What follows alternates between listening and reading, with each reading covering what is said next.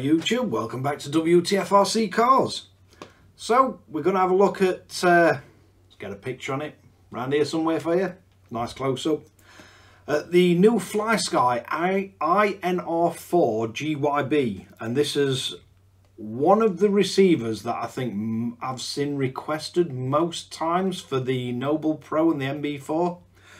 So, this is FlySky's new enhanced gyro receiver. And I know plenty of people have been screaming out for this for a long time. It's a four channel receiver. It's got DVB built in. It's got a gyro built in.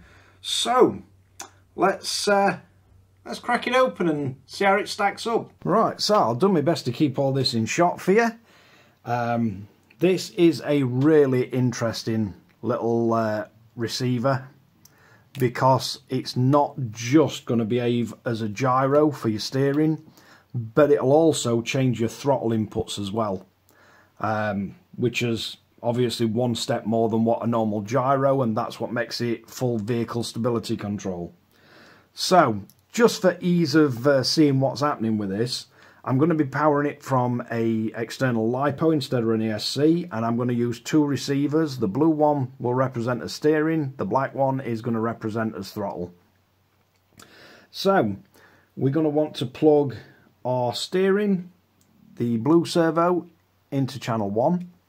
So they are 1 to 4 and then the BVD at the top.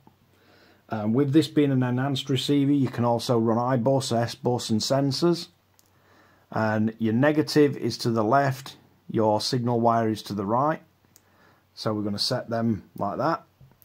Then what we're going to do is jump across to the uh, in this case it's the Noble Pro.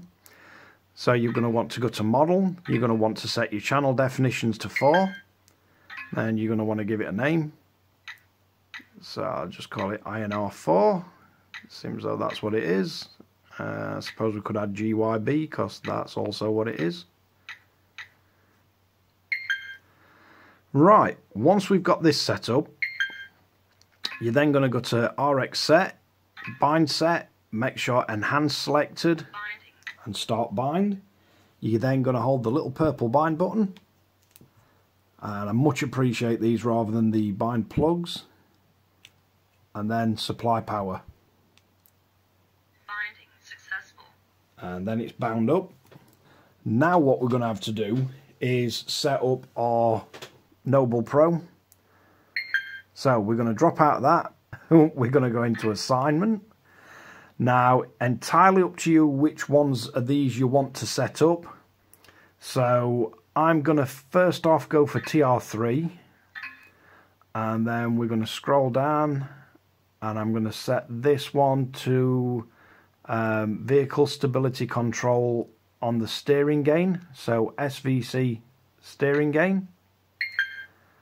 And I'm going to leave it normal direction two step you can change them as you like.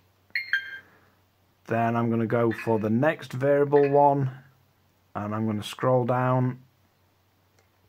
And again we're going to go to SVC throttle gain this time then one of the switches on the actual uh, handle. I'm going to go in here take it off channel 4 and we're going to go smart vehicle control.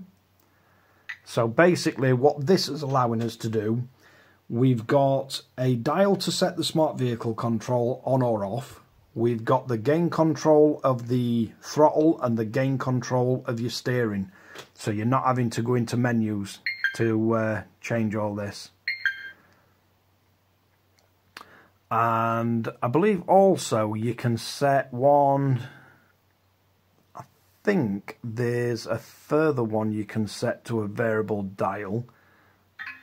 So if we come up and set this top one,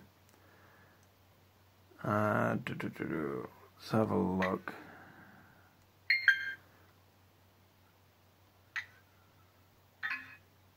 Uh, so I think we can set that one to priority.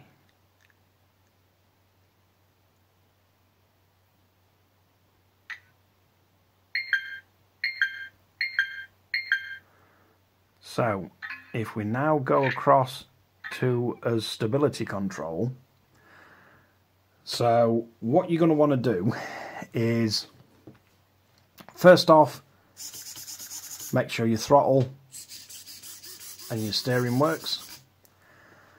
Then when we turn this on, so we've got this turned on now, you can see that as priority changes depending on position that I would fit the fully variable dial but you've got on the top adjuster you've got your steering sensitivity on your bottom one the throttle sensitivity. And then you've got ESP mode. Normal should mean it'll work all the time. So if we move gyro about it's going to try and calibrate all the time. Lock it should be more sort of heading lock mode. So although it will try and keep the car straight it's not gonna behave the same as what uh, normal does. Normal will behave much more like what you'd expect from a normal gyro. You're gonna have to play around with that setting because it's a bit like a heading lock setting. So it's it's going to behave differently, but you're going to have to try that to see which one you prefer and what you're looking for. So basically, what reverse does, if we move this to left, you'll see which way the servo twitches. So if you reverse it, it should then go the opposite way. So you just use that to make sure that it's it's counteracting in the right way to what your steering wants to be. Then we've got a sensitivity. So if we turn throttle sensitivity up,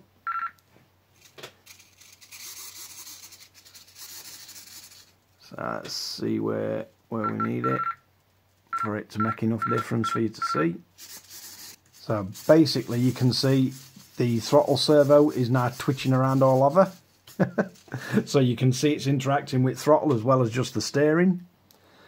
And you can set these gains as high or low as you want just by using these two. So you can you can turn the sensitivity at steering right down, you can turn the sensitivity at throttle right down depending on how you want the RC to actually drive. Or you can press this button and that'll turn it off completely. So it's now just behaving as a normal receiver. Press it again and you get your stability control.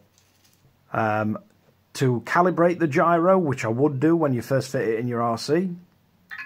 So it tells you to keep the vehicle completely stationary. And it does take a few seconds or so to run through that. But basically, you'll see the light flashes and then it'll tell you it's calibrated. But hopefully that gives you some idea of just how powerful this little uh, receiver gyro is and you've still got the same functionality as the other enhanced receivers. So we can go servo frequency you can set them all separate you can set them all together. So you've still got all the functionality of that. And you can also use the iBus. And you can also use the supplied external voltage monitor plug it in the top port and that can monitor lipos. So yeah, quite an impressive little thing, but let's wrap this one up. Right, so there you have it. The INR4 GYB Gyro Vehicle Stability Control Receiver from FlySky. Um, you do get some uh, really funky stickers, which, let's face it, we all like really funky stickers. So we do get the stickers with it. You do get the external BVD. I will get the acronym right. Battery voltage detection, I think it is. Uh, monitor cable with it. It's an enhanced receiver. It's waterproof or it's got a IPX rating. Um, nice antenna. And really glad that they've chose this form factor for the uh, for the first gyro receiver. Shut up controller. Because um, I know a lot of a lot of you guys have been asking for this and I'm really glad they brought it out as full vehicle stability control with throttle input if you want as well. Um because yeah you can fit an external gyro but I mean this puts it right up there with any of the other sort of I know some people are coming away from Traxxas or Arrma and they're worried that they're going to lose the stability control. Well, with this one, you've got full stability, not just a steering gyro. Um, the priority setting that you noticed on the gyro, what that's for, if you've got settings between 0 and 100, if you have it on 0, then the gyro for the steering gets the most input, so you'd have sort of a bigger turning radius because it'd be fighting you more to keep the vehicle straight and if you put it all the way up to 100 you'll have the tightest turning circle and the least input. It basically it's it's the way you choose whether you are the priority on the position you move in the steering or the gyro gets priority over what it's doing with steering. So it's one that you'll have to play about with a little bit. It will work on both the NB4 and the Pro so if you want to see a video of me setting up on NB4, it's exactly the same. But if you want to see it, I'll do it. Do anything for you guys. Um, we've got the instructions. And it does give you a good description of um, what all the settings do. Um, but following my guide on how I've set it up on this, at least you can see what dials you could set it to to control stuff. Um, the chances are once you've got it set up you might not bother adjusting it that much but it's nice to just be able to have a button to turn it on and off completely. Um, definitely nice that you can control it all because um, we hope best willing world if you've got an external gyro you usually just have control at gain and to instantly turn it off you'd have to wind gain all the way down. Whereas with this it's just one click of a button all gain and um, all gyro effect is turned off. But enough of my incessant ramblings.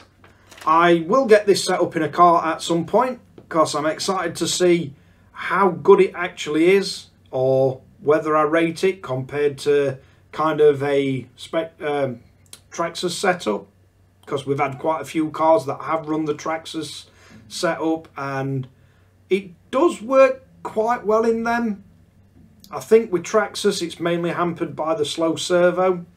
So as you try and go faster, the servo can't keep up. But uh, we'll definitely get it set up in a car, maybe one or two, just to try it, see what it's like. But thanks again for watching WTFRC Cars.